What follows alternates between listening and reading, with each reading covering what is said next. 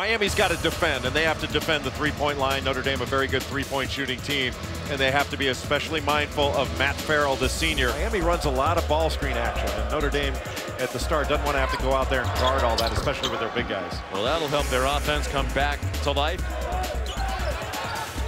Martinas Geben backing in, and if the shot, the redshirt freshman has become much more of a factor in Jim Larranaga's rotation the last couple of weeks. Oh, what a pass. Burns through the legs of the defender.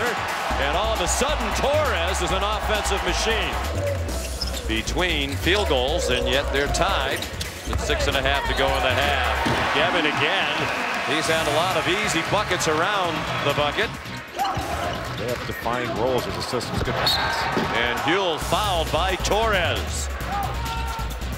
Mooney out of the corner. They cannot find the range from three. How about that? Work with the ball by Lykes oh. and then oh! into the body of Djogo.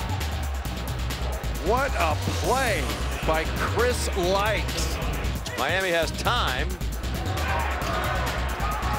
Walker at the buzzer. Yes! That was fantastic.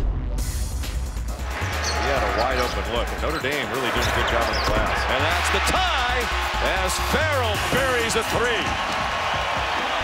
Especially with Kansas smelling yet another Big 12 title.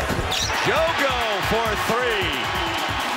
And that's the first lead for Notre Dame since it was 22 to 20 with 5.56 left in the first half.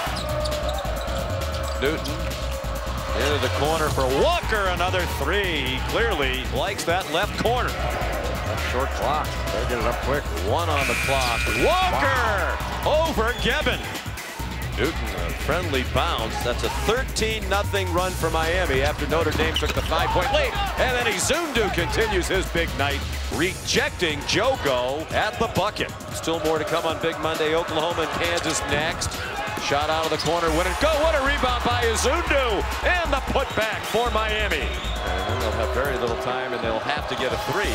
Newton, in the middle of the lane, high arcing floater. No! Big rebound and score! And the foul. What a night for Ebuka Izundu.